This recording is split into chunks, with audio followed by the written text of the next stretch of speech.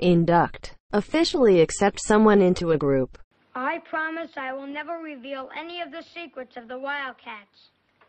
I promise I will never reveal any of the secrets of the Wildcats. You are now an official member of the Wildcats forever and ever. Opie was inducted into the Wildcats.